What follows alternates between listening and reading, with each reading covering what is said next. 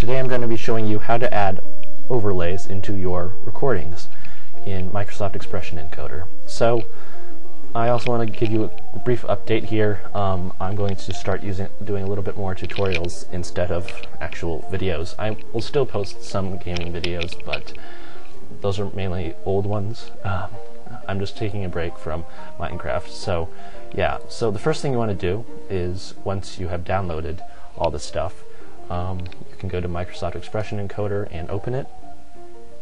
And you can hit OK and not select any of those projects. Um, once you have that, you need to import a file. I already have a file ready, uh, which is my outro template. And the first thing you want to do after that is you want to go to video and um, make sure you have it in whatever um, you know quality. Um, I prefer 720, which I overshot a little bit there. All right, there we go, and it went down again. God dang it. All right, there we go. And the next thing you want to do is you want to go to Enhance. And here you can add any overlay you want.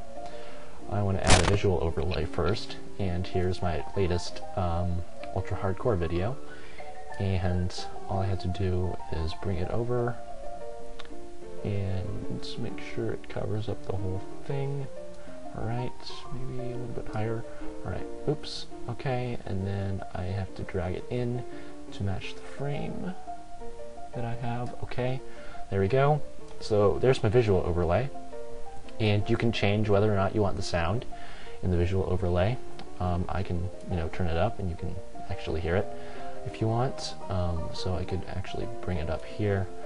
And I want to add a visual overlay next. And I can select my outro song, which is Ouroboros. And I can do this. Alright, so hey everyone, and welcome back to UHC. And me and Samir are playing... Now that's great. But as some of you know, I don't really add the actual video sound into that video. So all I have to do is make sure it's at zero. And when I play it again,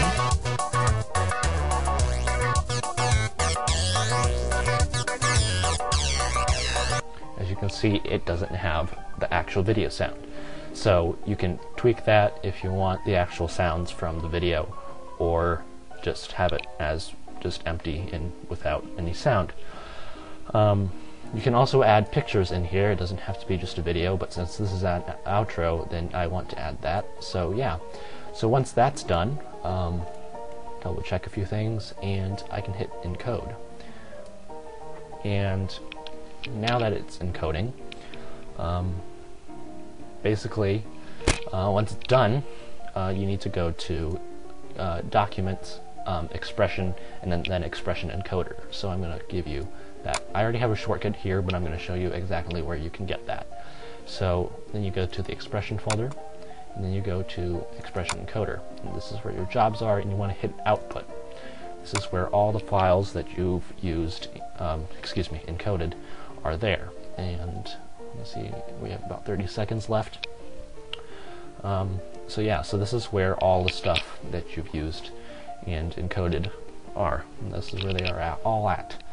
So yeah, so I'm to wait for this to be done and um, get to see where it is. So, in about 10 seconds.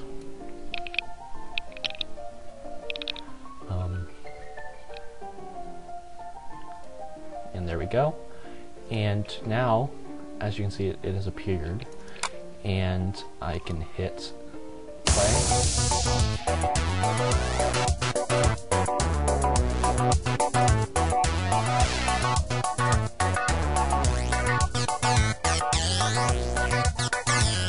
So that's my outro. Um, it's really simple to do. It's really simple. Um, so, you know, you can do that on anything. You can use it on a large video or a small one. It doesn't matter. Um, you can also add, um, unfortunately, uh, you can't add multiple of these.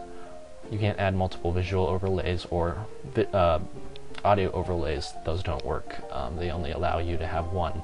So that's unfortunate, and since um, I believe that Expression Encoder has been discontinued by Microsoft, unfortunately you can only have one. Um, so this is what I've had to use from basically the whole time that I've used this. So yeah, so I guess that'll do it. So if you guys enjoyed, please leave a rating, and I will see you next time.